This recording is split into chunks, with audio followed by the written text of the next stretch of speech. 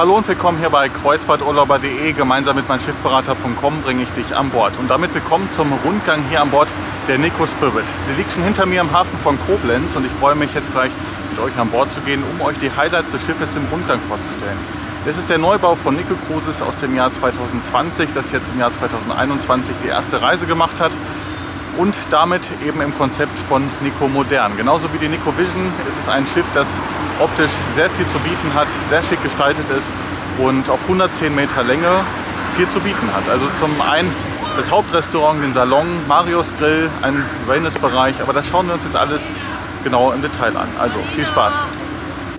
Beginnen wir unseren Rundgang hier auf Deck 3 in der großen Lounge. Die ist sehr lichtdurchflutet, hell und gemütlich gestaltet. Modernes Design, wie ich finde, sehr toll gemacht. Und besonders ist vorne dann The Garden. The Garden ist ein Bereich, der sich zusammensetzt aus einem kleinen Wintergarten, wie man ihn bezeichnen könnte. Also mit Glasdach, wo dann viel Tageslicht hereinkommt. Und davor ist dann noch die Außenterrasse, wo die, wo die Gäste die Möglichkeit haben, draußen zu sitzen. Das Ganze auch windgeschützt denn ähm, ja, es ist glasummantelt und man kann dort bis ganz nach vorne in diesen besonderen Bug hier von der Nico Spirit. Von da aus hat man dann einen tollen Ausblick auf die Fahrt, gerade natürlich während der Flussfahrt sehr, sehr schön dort zu sitzen.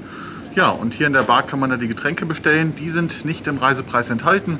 Getränke geht es extra zu bezahlen oder eben ein Getränkepaket zu buchen. Hier auf Deck 2 direkt unter dem Panoramasalon befindet sich das Hauptrestaurant des Schiffes. Auf der Nico Spirit ist ebenso wie auf der Nico Vision ein Open Seating Konzept, sodass man hier frei nach der Wahl kommen kann, wenn man möchte. Man hat eben Essenszeiten im Programm, aber wenn man dort mal eine halbe Stunde später kommt, ist das auch kein Problem. Außerdem hat man keinen festen Tischnachbar, das heißt, man kann sich jeden Abend frei platzieren. Es gibt keine Tischnummer, die man für die gesamte Reise hat.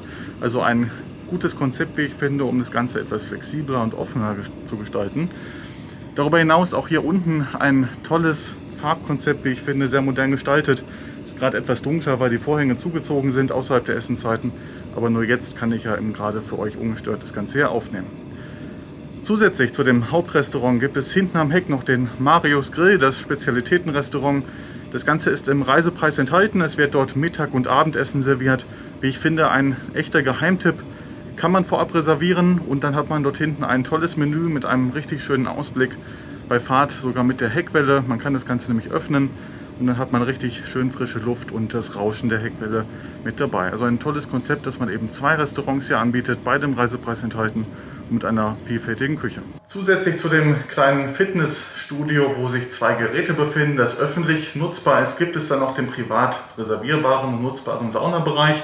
Der ist auch im Reisepreis enthalten. Man hat dann eben die kleine Sauna im Hintergrund. Da können zwei Personen gut Platz drin finden. Sie ist nicht allzu groß, genauso wie der ganze Bereich, aber ist ja eben auch nur für eine Kabine gleichzeitig gedacht.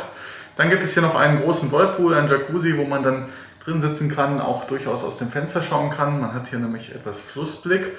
Und es gibt dann noch ein WC und eine Dusche. Ja, ein kleiner, aber feiner äh, Wellnessbereich, wie ich finde, vor einem Flusskreuzfahrtschiff. Und zu guter Letzt schauen wir noch auf das Sonnendeck des Schiffes, denn von hier aus kann man die Flusspassagen besonders gut genießen. Es gibt einige Sonnen- und Schattenbereiche, wo dann auch Stühle und Liegen aufgebaut sind. Was mir persönlich fehlt, ist ein kleiner Pool, wo man dann auch noch aus dem Wasser die Landschaft genießen kann. Das wäre noch so ja, verbesserungswürdig auf diesem Schiff. Aber ansonsten wirklich ein tolles Schiff von Nico Cruises, die neue Nico Spirit, wie ich finde. Ich hoffe, euch haben die Eindrücke gefallen des 110 Meter langen Flusskreuzfahrtschiffes. Schaut gerne mal unter meinschiffberater.com vorbei, wenn ihr eure nächste Traumreise buchen möchtet. Damit könnt ihr mich unterstützen. Vielen Dank dafür. Und ansonsten schaut gerne mal in die Vlogs rein hier von der Nico Spirit entlang der Mosel mit der Wein- und Genussreise in Kooperation mit Falstaff. Also vielen Dank fürs Zuschauen. Bis zum nächsten Video. Euer Kreuzfahrturlauber Fabian.